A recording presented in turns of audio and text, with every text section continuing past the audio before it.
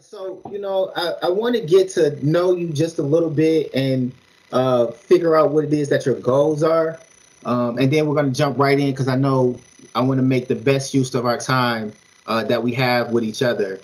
Um, so I just want to just just get a feel for you and, and, and figure out what it is that you're trying to do. Um, right now, I'm mainly working on my mixing and mastering. Now, I want you to go through like your typical mixing process because I want to I want to maybe put some things into uh I, some things into motions as far as ideas that you may need to start using um, prior to mixing, and then we're going to go right into how to do the gain stage. I looked at YouTube, but YouTube is all over the place. Yep. And everybody is right when it comes to YouTube, so you get mixed signals when it comes to YouTube. Yeah.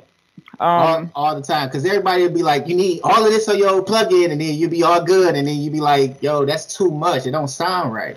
Yeah, and with Studio One, it's very little on Studio One when it comes to mixing. You just Yeah. have to subscribe to something for studio, and I like that with Studio One because it's you know they make you want to subscribe just so you can learn it.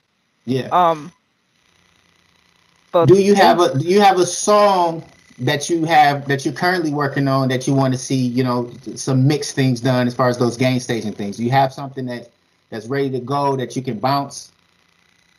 Actually, I do because I've been working on this um song for this contest for uh Bruce Beats, and got it all laid out. It's just I gain staged it, I, everything to negative twelve.